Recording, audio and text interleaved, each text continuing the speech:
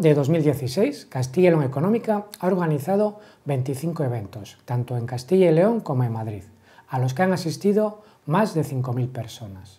Al margen de las intervenciones de los ponentes, que casi siempre son excelentes, creo que el mayor valor añadido que hay en estos actos es en el vino español, porque se produce un networking muy útil. Para optimizar estos encuentros, recomiendo a los invitados que lleven una lista con dos o tres personas que quieran conocer. Saludar e intercambiar impresiones con los clientes. Llevar siempre, por supuesto, tarjetas de visita. Y estudiarse el programa por si hay algún ponente de especial interés que quieren conocer luego en el vino español. En definitiva, creo que en nuestros eventos el momento de mayor trabajo es el vino español.